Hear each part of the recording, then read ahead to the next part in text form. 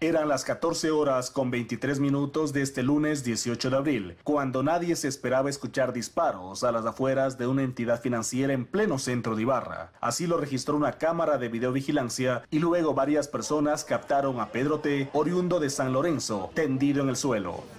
Las primeras investigaciones por parte de Policía Nacional afirman que luego de sacar 5 mil dólares del banco, sale a los cajeros a realizar un depósito sin solicitar el resguardo respectivo. En este lugar donde es abordado por parte de un, de un ciudadano, donde luego de un forcejeo por eh, quitarle un canguro donde tenía el dinero, eh, se activa o produce el, el, impacto de un arma de fuego en contra del ciudadano. Inmediatamente se activaron las alertas y los operativos policiales para dar con el paradero de los involucrados del hecho, que según testigos se movilizaban en una motocicleta negra. Seguirán los trámites con la fiscalía para determinar y llegar al paradero de estos delincuentes. Luego de ser trasladado al Hospital San Vicente de Paul, el afectado falleció por el disparo que recibió en su cabeza.